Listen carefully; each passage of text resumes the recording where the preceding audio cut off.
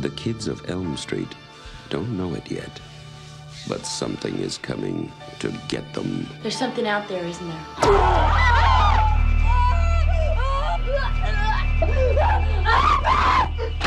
You could just see cuts happening. What did that, Lieutenant? I don't know. What's the coroner got to say? He's in the jar and puking since he saw it. They're gonna kill me for sure. Did you do it? There was somebody else there. He was locked in a room with a girl who went in alive and came out in a rubber bag.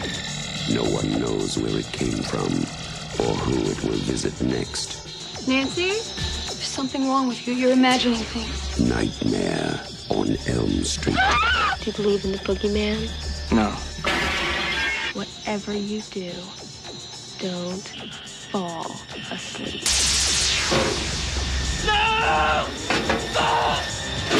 She's the only one who can stop it. If she fails, I'm your boyfriend now, Nancy. no one will survive. Ah!